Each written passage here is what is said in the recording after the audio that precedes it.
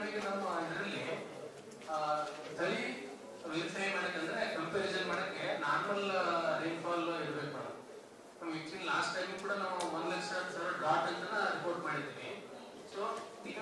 ಬೇರೆ ಮಣ್ಣಿನ ಗುಣ ಅಥವಾ ನೀರು ಚೆನ್ನಾಗಿ ಆಗಿದ್ರೆ ಇದು ಕಂಪೇರ್ ಮಾಡಕ್ಕೆ ಸರಿ ಹೋಗುತ್ತೆ ಅದು